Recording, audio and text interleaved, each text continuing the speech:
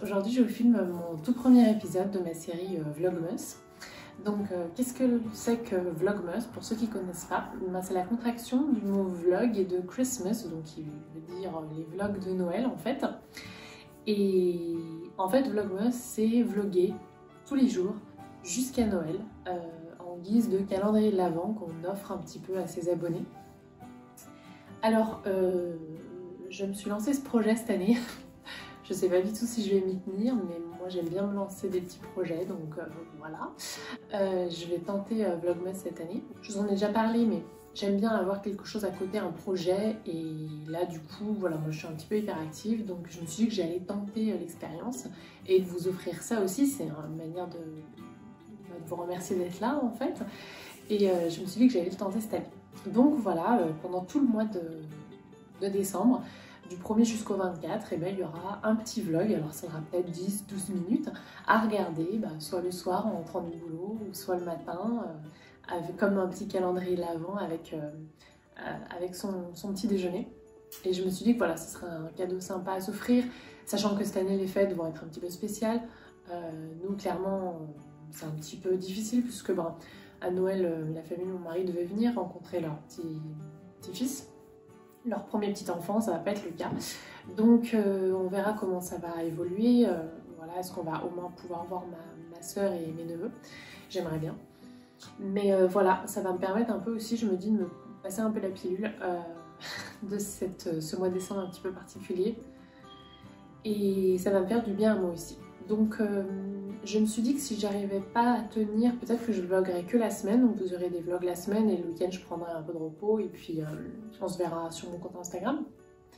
Euh, et du coup les week-ends, pour ceux qui n'ont pas pu regarder la semaine, ils auront la playlist des vlogmas de la semaine.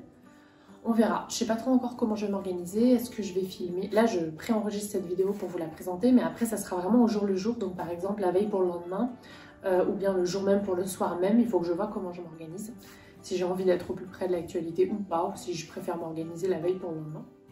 Donc les vlogs sortiront euh, le soir à 17h, puisque vous le savez, moi euh, en semaine je sors mes, vidéos vers 17h, parce que en fait j'ai décidé dès le début de faire ça le mardi soir, parce que ça m'arrangeait euh, vis-à-vis du travail, le lendemain je travaillais pas. Et puis à 17h je sors de classe, donc c'était plus simple pour moi pour répondre aux commentaires, etc. et être présente quand la vidéo est publiée.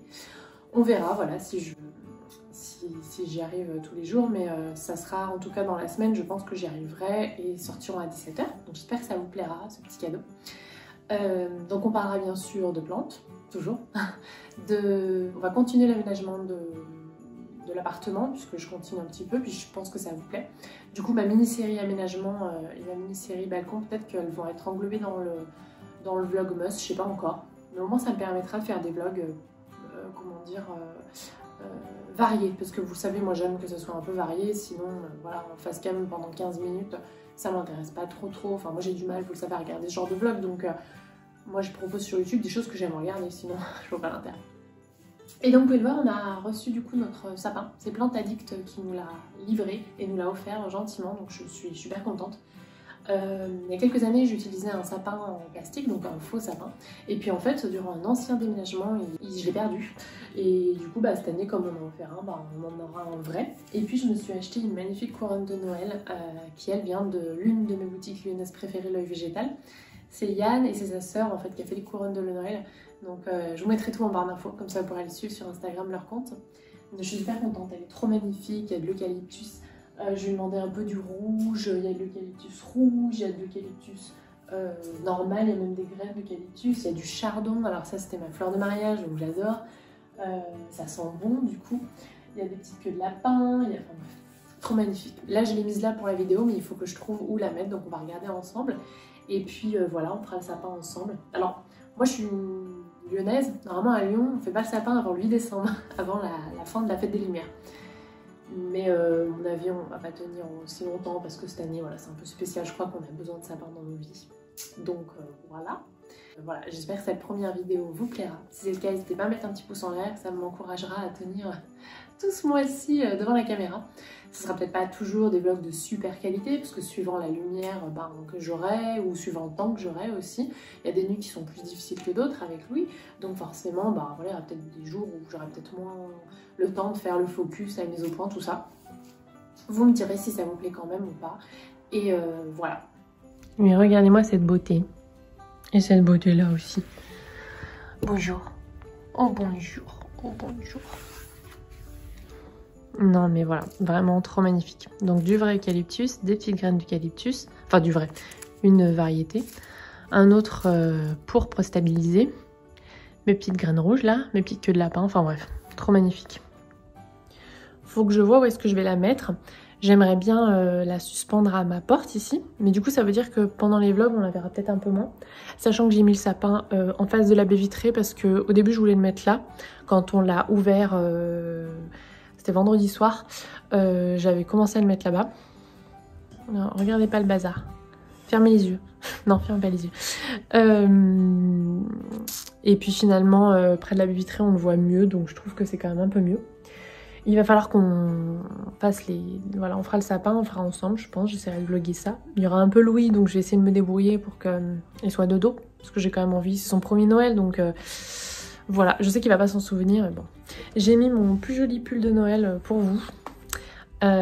c'est pas mon truc d'habitude, et puis c'est Caro, Caro from Maudelaine qui m'a convaincue.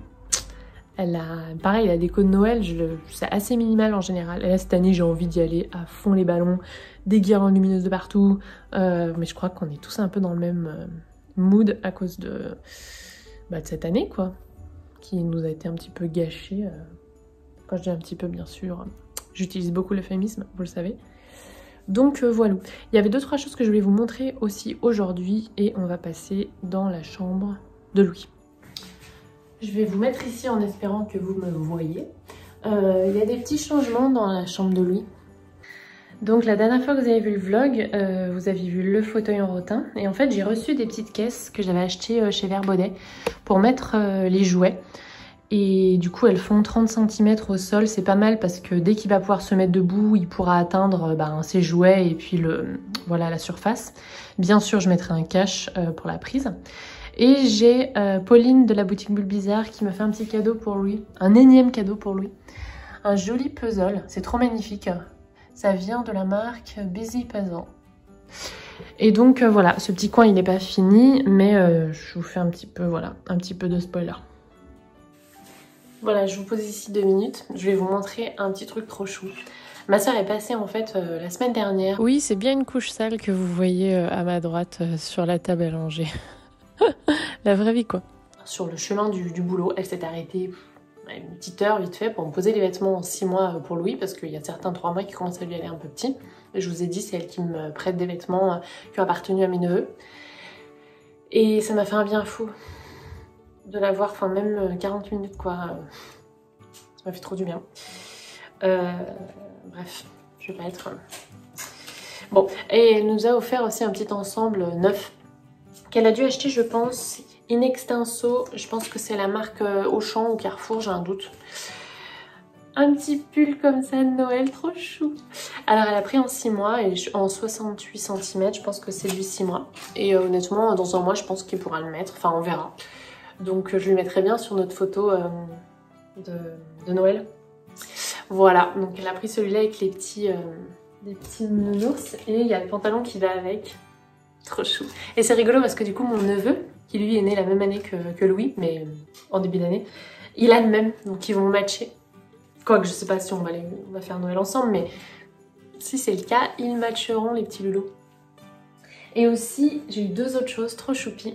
Ma copine Sylvie qui m'a offert un petit pantalon euh, Zara, enfin qui m'a, je dis toujours c'est à moi, mais en fait c'est à Louis, hein, bien d'accord que quand on fait un cadeau à Louis, en fait, c'est à moi que ça fait plaisir surtout. Euh, un petit pantalon avec des petites bretelles. Donc je pense que on va euh, utiliser cette tenue pour faire la photo des, des trois mois, c'est bientôt. Je le mettrai bien avec un autre pull, bon il est au sale. Donc voilà, trop chou. Et j'ai aussi la grande tante de mon mari qui habite en Californie dans le désert à côté de là où euh, il y a le, le festival euh, assez connu. Bon bref. Elle nous a offert un petit... Enfin c'est un petit... Euh, une petite combi comme ça, trop choupi. Elle l'a vu, je crois que c'est le magasin Carter, ouais, en six mois aussi. Elle a vu, elle m'a dit j'ai tout de suite pensé à lui. Il y a une petite poche au milieu gros. Donc voilà pour le petit hall improvisé. Donc euh, plus tard dans la journée, je me suis décidée à aller arroser mes, petits potos. Et aussi euh, à mettre en tuteur mon Rhaphidophora tetrasperma qui en avait bien besoin. En fait, le tuteur était tombé pendant le déménagement et je l'avais pas remis. Et là, bah, ça va faire bientôt un mois et clairement, euh, voilà, ça lui plaît pas trop de cascader comme ça. Donc je lui ai mis une petite branche que j'avais ramassée dans la nature. Quand j'en trouve des un peu droites, en fait, je les mets de côté, je les ramasse.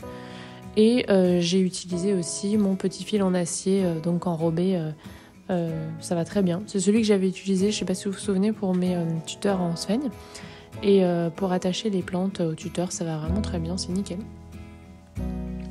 Le Rhaphidophora tetrasperma, hein, qui ressemble un petit peu à cette monstera, c'est vraiment une plante extrêmement facile. Elle grandit super vite, franchement. là, il faudra que je la rempote au printemps, mais vous voyez, elle m'en veut pas de pas l'avoir fait cet été. Et moi, je la recommande même à des débutants. Il faudra quand même que je trouve un joli petit pot, parce que là, c'est un petit peu triste là. Un petit cache-pot, je voulais dire.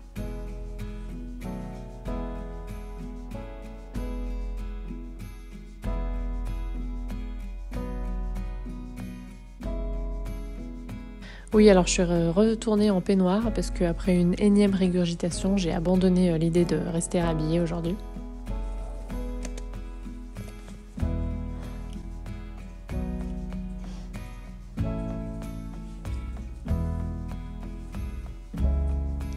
Ensuite, je passe à l'arrosage des potos.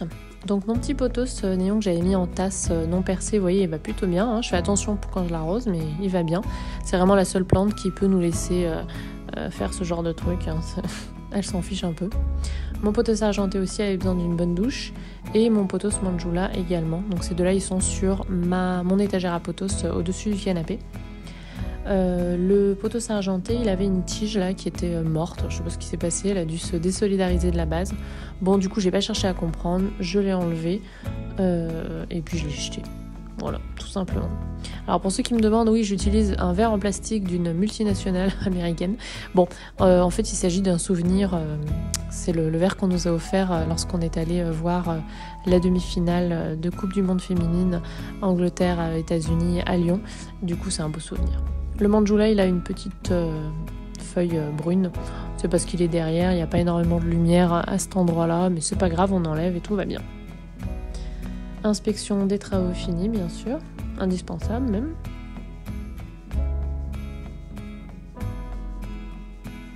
Et puis je le replace ici.